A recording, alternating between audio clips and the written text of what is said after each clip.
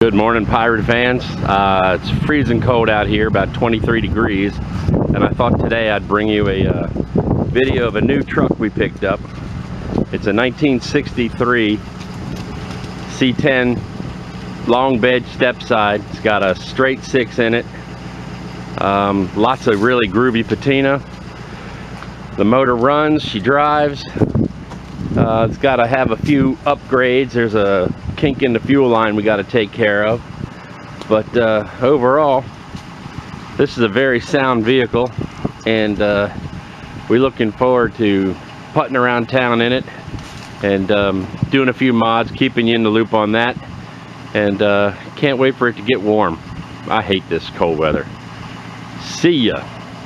Keep seeking the treasure.